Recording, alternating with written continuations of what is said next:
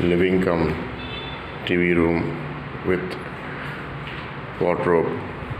This is kitchen with wardrobes with a utility area.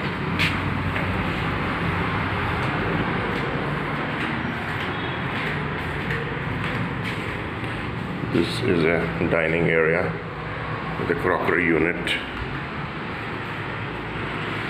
This is an attached bathroom.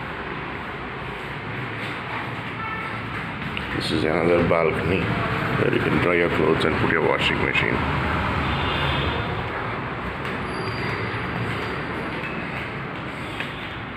This is a large bedroom with wardrobes built in. This is the master bedroom with wardrobes and attached